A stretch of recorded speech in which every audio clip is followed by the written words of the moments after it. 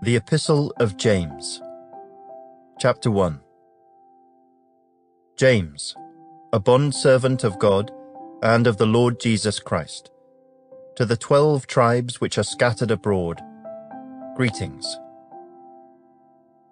My brethren, count it all joy when you fall into various trials, knowing that the testing of your faith produces patience. But let patience have its perfect work, that you may be perfect and complete, lacking nothing.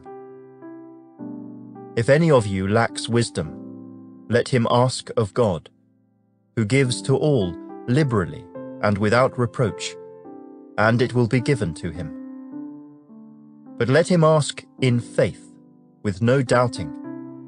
For he who doubts is like a wave of the sea, driven and tossed by the wind.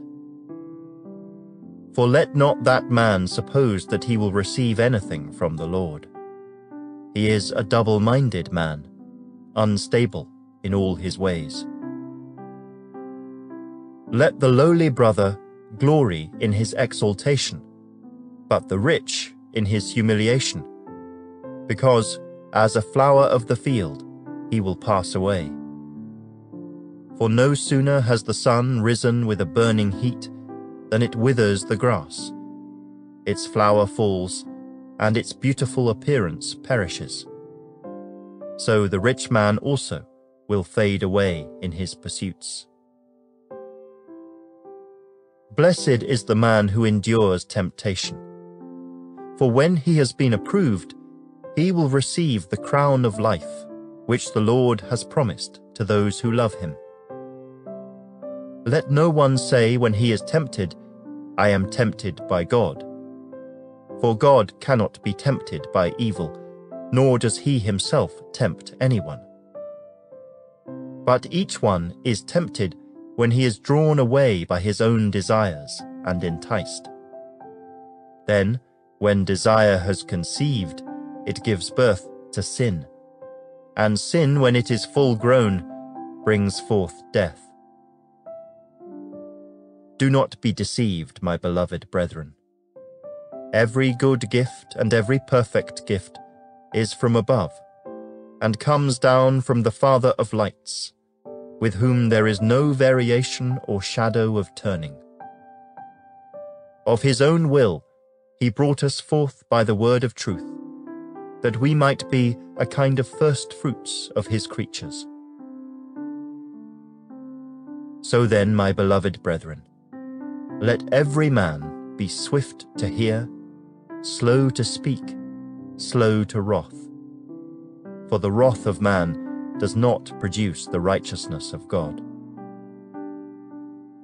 Therefore, lay aside all filthiness and overflow of wickedness, and receive with meekness the implanted word, which is able to save your souls.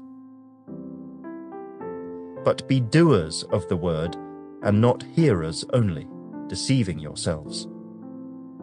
For if anyone is a hearer of the word and not a doer, he is like a man observing his natural face in a mirror. For he observes himself, goes away, and immediately forgets what kind of man he was. But he who looks into the perfect law of liberty and continues in it, and is not a forgetful hearer, but a doer of the work, this one will be blessed in what he does. If anyone among you thinks he is religious and does not bridle his tongue, but deceives his own heart, this one's religion is useless. Pure and undefiled religion before God and the Father is this to visit orphans and widows in their trouble and to keep oneself unspotted from the world.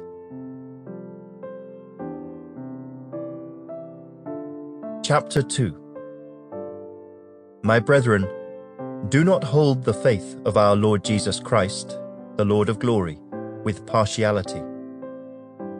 For if there should come into your assembly a man with gold rings, in fine apparel, and there should also come in a poor man in filthy clothes, and you pay attention to the one wearing the fine clothes, and say to him, You sit here in a good place, and say to the poor man, You stand there, or Sit here at my footstool.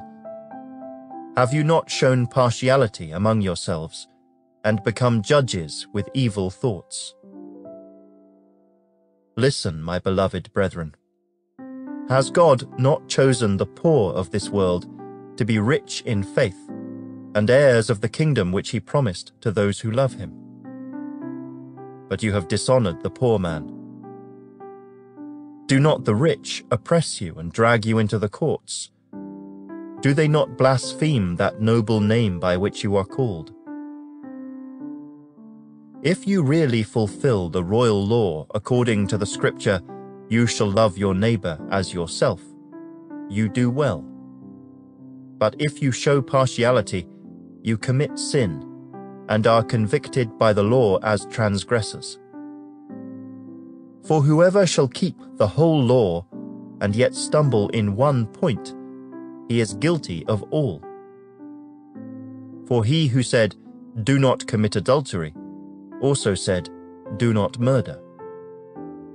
Now, if you do not commit adultery, but you do murder, you have become a transgressor of the law. So speak and so do as those who will be judged by the law of liberty. For judgment is without mercy to the one who has shown no mercy. Mercy triumphs over judgment. What does it profit, my brethren, if someone says he has faith, but does not have works? Can faith save him? If a brother or sister is naked and destitute of daily food, and one of you says to them, Depart in peace, be warmed and filled, but you do not give them the things which are needed for the body, what does it profit? Thus also faith by itself, if it does not have works, is dead. But someone will say, You have faith, and I have works. Show me your faith without your works, and I will show you my faith by my works. You believe that there is one God. You do well. Even the demons believe and tremble. But do you want to know, O foolish man, that faith without works is dead? Was not Abraham our father justified by works when he offered Isaac his son on the altar?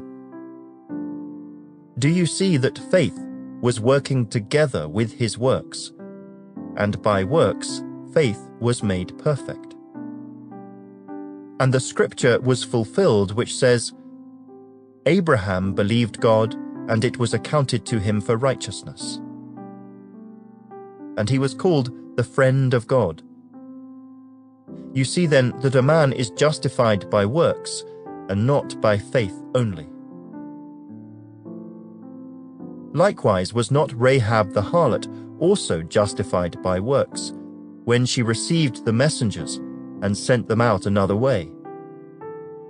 For as the body without the spirit is dead, so faith without works is dead also. Chapter 3 My brethren, let not many of you become teachers, knowing that we shall receive a stricter judgment. For we all stumble in many things. If anyone does not stumble in word, he is a perfect man able also to bridle the whole body. Indeed, we put bits in horses' mouths that they may obey us, and we turn their whole body. Look also at ships. Although they are so large and are driven by fierce winds, they are turned by a very small rudder wherever the pilot desires. Even so, the tongue is a little member and boasts great things. See how great a forest a little fire kindles. And the tongue is a fire, a world of iniquity. The tongue is so set among our members that it defiles the whole body, and sets on fire the course of nature, and it is set on fire by hell. For every kind of beast and bird, of reptile and creature of the sea, is tamed and has been tamed by mankind. But no man can tame the tongue. It is an unruly evil, full of deadly poison. With it we bless our God and Father, and with it we curse men, who have been made in the similitude of God. Out of the same mouth proceed blessing and cursing. My brethren, these things ought not to be so. Does a spring send forth fresh water and bitter from the same opening? Can a fig tree, my brethren, bear olives, or a grapevine bear figs? Thus, no spring yields both salt water and fresh. Who is wise and understanding among you? Let him show by good conduct that his works are done in the meekness of wisdom. But if you have bitter envy and self-seeking in your hearts, do not boast and lie against the truth. This wisdom does not descend from above, but is earthly, sensual, demonic. For where envy and self-seeking exist, confusion and every evil thing are there. But the wisdom that is from above is first pure, then peaceable, gentle, willing to yield, full of mercy and good fruits, without partiality and without hypocrisy. Now the fruit of righteousness is sown in peace by those who make peace. Chapter 4 Where do wars and fights come from among you? Do they not come from your desires for pleasure that war in your members? You lust and do not have. You murder and covet and cannot obtain.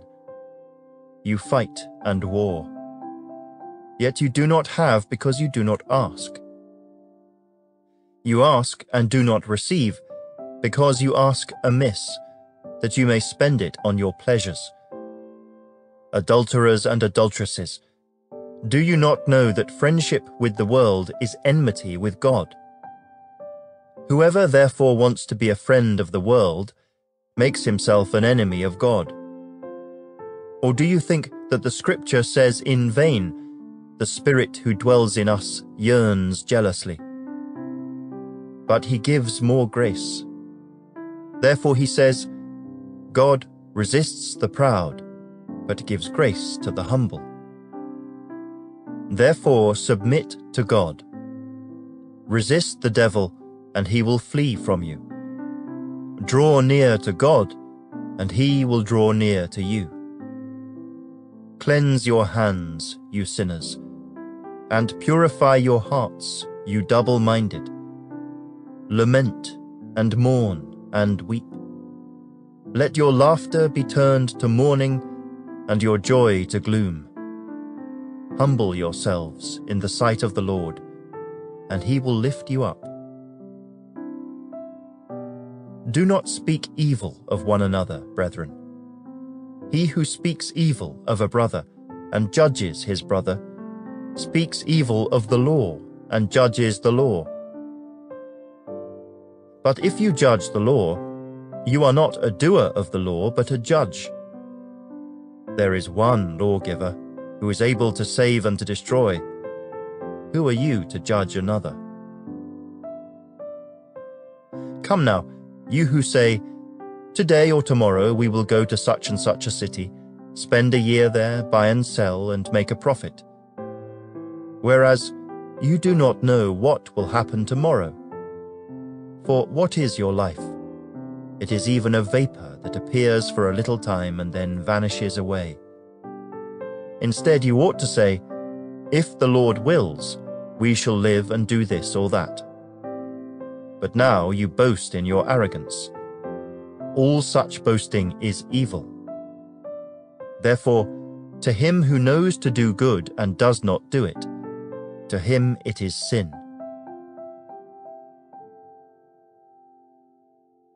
Chapter 5 Come now, you rich, weep and howl for your miseries that are coming upon you.